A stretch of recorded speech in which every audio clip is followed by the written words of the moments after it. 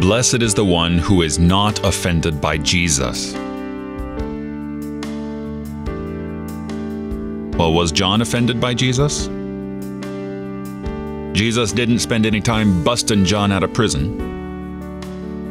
Whatever John's motivation for sending his disciples to Jesus, whether it was, like some say, a pious and holy effort to get them to follow Jesus instead of John, or kind of a disgruntled, hey cousin, get me out of jail.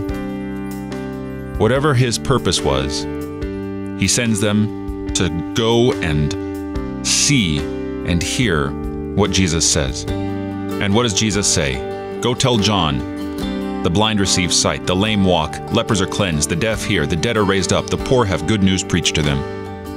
And blessed is the one who is not offended by me, says Jesus.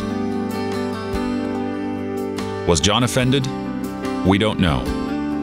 It doesn't matter. Are you offended by Jesus?